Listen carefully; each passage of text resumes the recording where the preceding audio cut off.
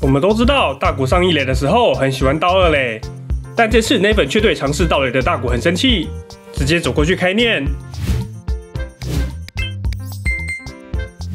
时间来到六局下，天使队落后四分，垒上无人，大谷打出一垒安打上垒。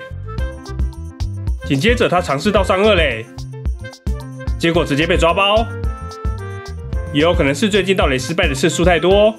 所以 Never 很生气，走到大谷旁边直接开念。大谷此时的表情就像个做错事的小孩一样，低头看着平板。接着 Never 还把一垒教练 Marshall 抓过来一起开会。大谷挨骂的场面很稀有，那么那个男人自然不会缺席。Suarez 以风骚的姿势直接滑到水源的旁边，然后开始一直抚摸他的头发。摸完头发，接着摸耳朵。水源也尝试说正在开会，他才识趣的走开。